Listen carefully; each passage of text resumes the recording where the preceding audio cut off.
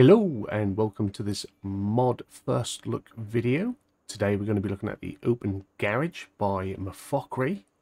And boy is this one a biggie. Let's get into it. So we're looking under sheds and this one, this one's a big one. 306,500 for the purchase. And it has a daily or weekly, whatever cycle you sort of work with, uh, upkeep of 100 pounds, euros or dollars, whatever you're working in. And this is actually perfect size for just sitting on the end of our fallow field at the minute, our ploughed field. So for this, we're just going to drop this down here. This is absolutely huge. So let's get down and have a little look, shall we? And this is a big one. It is 25 meters deep and 50 meters in length, which is absolutely huge. It has the uh, the large openings on the front to fit any machinery you wish in here. It is an absolute monster.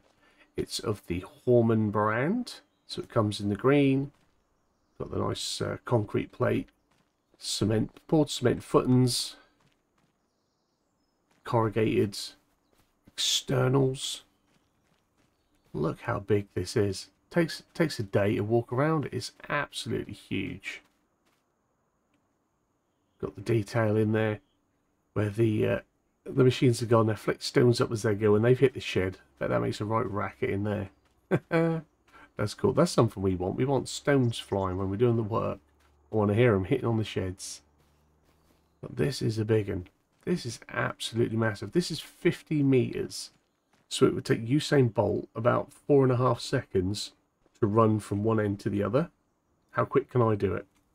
One, two, three, four, five, six, six seconds. I'm not as quick as Usain Bolt.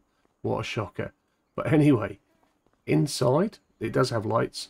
It does have the switches on the sides. You can work it there if you want to do a little bit of role play, but you can trigger the lights from anywhere within the shed. And the shed is absolutely beautiful on the inside. Love, loving the intricate beam work again. Look at that. That's really nice. Really nice. We've got the uh, the open transparent uh, plastic, transparent aluminum, whatever we're calling that at the top there. Letting in some sunlight as well. So during the day, being so big, it would get dark in here. So that allows lighting without having to turn your lights on. Lights are for the night. But we do have some uh, decorative fire hydrants as well. Do we call them fire hydrants? Just, um, yeah, fire extinguishers. But that's cool. They're there. We definitely need them. We're accident prone. But again, the detail is really nice. We've got another button up here if you want to pretend to do it that way. Again, we've got a little bit of blemish and, and dirt and whatnot on the inside of the shed, as well as on the outside. The wood is of a great, great texture. Stone is of nice texture. This is really good. The triple lights. We've got the uh, the metal supports going through as well, because this is a big, heavy, big, heavy shed. And again, what I like in these support beams, Look at the flaring as it comes down again. And we've had some where they flare and get wider going up. Got one where it flares and goes down. The fixtures and fittings as well. All there. All look really nice. Going in there on the girder.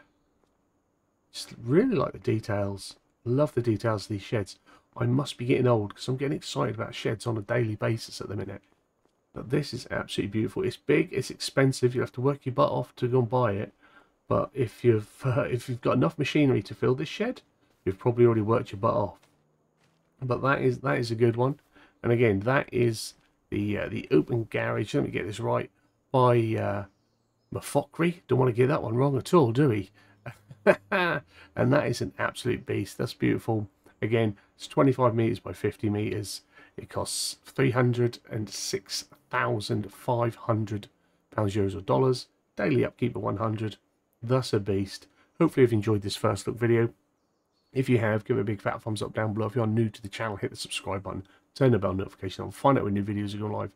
As always, comments and feedback down there. You guys have a wonderful day, and hopefully I'll see you again soon. Bye-bye.